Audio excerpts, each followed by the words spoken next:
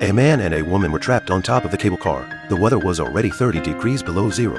The two men were shivering from the cold. Below is another 10,000 feet deep. Now the only way is to climb down the cable car alone. Through the front door, then open the skylight to let the other one in. But the man himself is afraid to go down. He forced Irina to go down and open the door for him. Seeing the fat man approaching step by step, Irina hurriedly picked up firework sticks from the ground.